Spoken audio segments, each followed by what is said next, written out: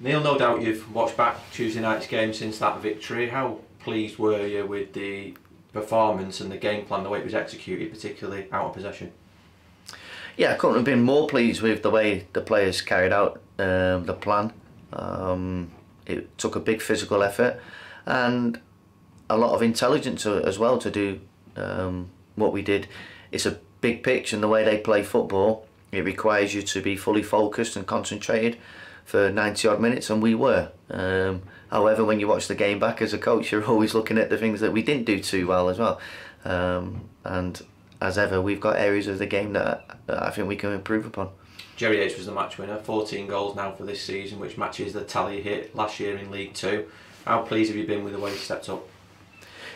Yeah, I think Jerry um, epitomises a little bit. Um, quite a few of the players in the squad are taking him maybe a little bit of time at the beginning of the season to find his feet at this level.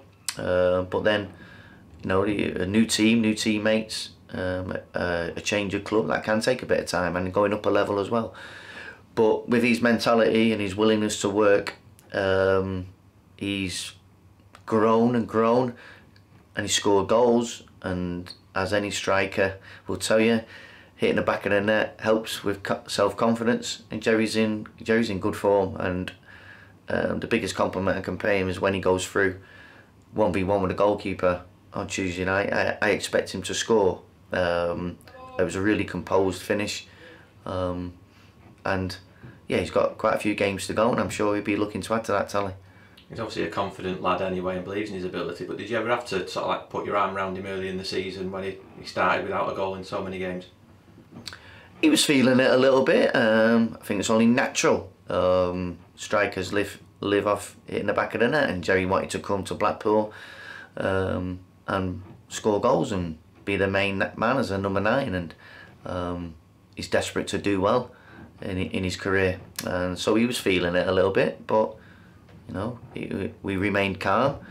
Uh, he remained calm, um, and yeah, he's he's I say he's he's coped. He's a, he's adapted, and he's now scoring goals and is in, in good form.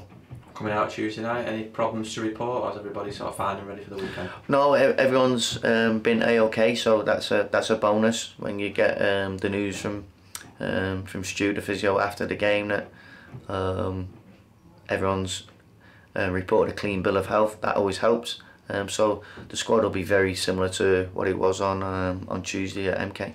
This week's marked a full year without Bloomfield Road being full of fans. And it's this sort of game where it really stands out that absence, isn't it?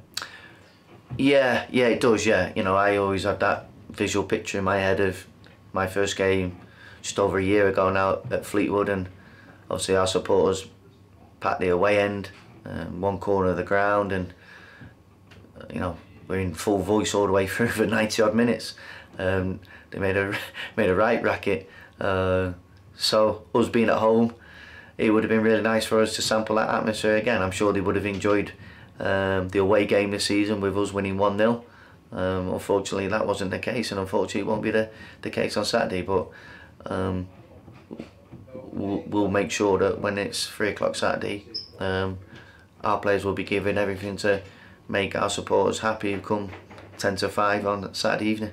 And it's that drive from the terraces, it's probably been missed the last two home games, but even so, still a really good record at home. Yeah, we've had a good home record. Um, obviously, the last two games I'd like to have been a little bit better, and those games are is then when you do pull on the, the strength of the, the support in the ground, that emotional impact that they can have just gives you that extra 2% just when you're coming towards the end of the game and your tiredness is setting in and your heart's pounding through your shirt and or, you know your, your brain's telling you to do one thing your legs are saying something else and the supporters can make a real difference for you um, and yeah we've we've we've missed that our, our, ground with the form we would have been in would have been full um, and it'd have been right behind us um, and that would have been no different on Saturday. But I can assure the supporters we'll be fighting for them on Saturday.